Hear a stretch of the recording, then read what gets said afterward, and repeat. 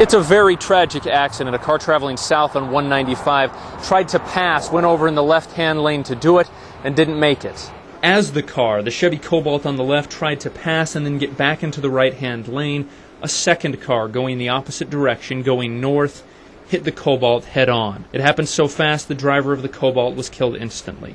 Two people, David and Bonnie Swanson from Chewelah, were in the other car. They should be okay, but they were taken to Sacred Heart Medical Center with broken bones and fairly serious injuries. Sometimes we have slower moving vehicles, especially as you move into Whitman County. We have a lot of agricultural equipment moves along this highway, and uh, you know, really, she might have saved herself a minute and a half by the time she reached Colfax. Had she been successful in the past, it just really wasn't worth it. WSP says the driver of the Cobalt could likely have seen the other car coming but just couldn't get out of the way in time. WSP says all three people in both of the cars were wearing seatbelts. No word yet on how fast the vehicles were traveling.